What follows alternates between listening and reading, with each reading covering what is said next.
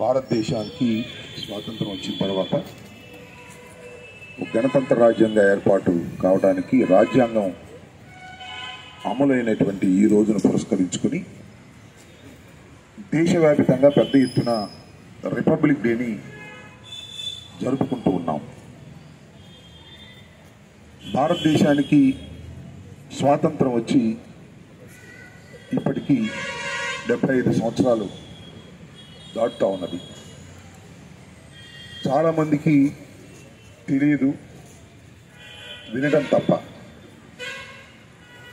British పరిపాలకుల కబంధ హస్తాలలో నలిగిపోయినటువంటి భారతదేశాన్ని అనేక మంది స్వాతంత్రం కోసం పోరాడి అసువులు బాసి చివరికి స్వాతంత్రాన్ని తెచ్చుకొని మన పరిపాలనని మనం చేసుకునేటటువంటి ఒక గణతంత్ర రాజ్యంగా ఏర్పాటై బాబాసాహెబ్ అంబేద్కర్ గారు రాసినటువంటి రాజ్యాంగాన్ని అమలు చేసుకునేటటువంటి ఈ పవిత్రమైన రోజుని దేశవ్యాపితంగా రిపబ్లిక్ డేగా మనం జరుపుకోవటం చాలా సంతోషించదగినటువంటి పరిణామం.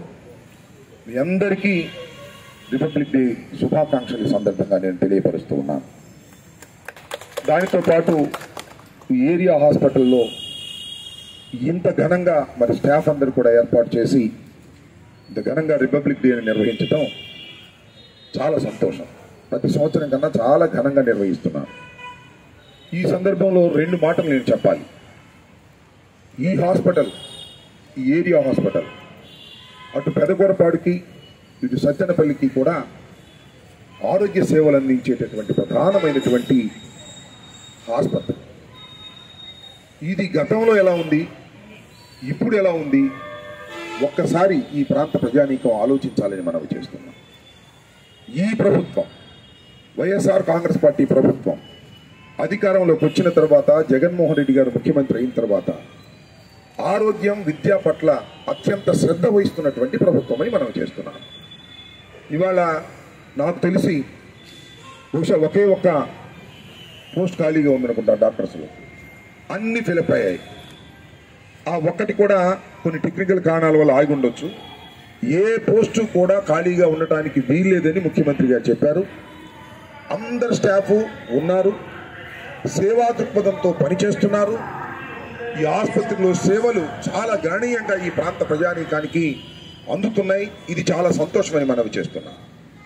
ఏరియా ఆసుపత్రి అంటే వచ్చేది పేదవాడు. ఆ పేదవాడికి మంచి వైద్యాన్ని అందించాలనేటువంటి ప్రభుత్వ దృక్పథాన్ని నూటికి నూరు పాళ్ళు సత్తెనపల్లి ఏరియా ఆసుపత్రిలో అందిస్తున్నామని ఈ గణతంత్ర దినోత్సవం రోజున నేను ధైర్యంగా చెప్పగలుగుతున్నాను. నేను వచ్చినప్పుడు చాలా తక్కువ మంది స్టాఫ్ ఉన్నారు. ఈ ఆసుపత్రే కాదు మొత్తం రాష్ట్రంలో ఉన్న ప్రతి ఆసుపత్రిలోనూ ఏ ఒక్క పోస్టు ఖాళీగా ఉండకూడదు. అందరు డాక్టర్లు ఉండాలి వైద్యం సక్రమంగా అందాలి అని భావించినటువంటి ప్రభుత్వం మనవి చేస్తూ పేదలకు విద్యా వైద్యం అందించడంలో ఈ ప్రభుత్వాన్ని మించింది మరొకటి లేదని ఈ గణతంత్ర దినోత్సవం సందర్భంగా తెలియజేస్తూ మరొకసారి ఘనంగా నిర్వహించినటువంటి ఇక్కడ స్టాఫ్ అందరికీ సూపరింటెండెంట్ గారికి స్టాఫ్కి అందరికీ నా హృదయపూర్వకమైనటువంటి గణతంత్ర దినోత్సవ శుభాకాంక్షలు తెలియపరుస్తూ మీ దగ్గర సెలవు తీసుకుంటున్నాను.